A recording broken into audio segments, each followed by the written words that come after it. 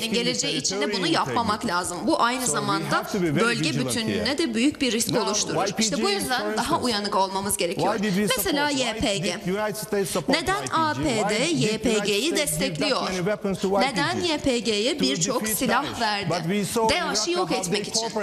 Ancak Rakka'dan nasıl işbirliği olduğunu gördük. Anlaşmaların nasıl ilerlediğini gördük. Bana inanmazsanız Dünya Arap Kongresi'nin bildirilerine bahs bir göz atın. Hristiyan çocuklar DAEŞ'a terör örgütü üyesi olarak alınıyor. Ve YPG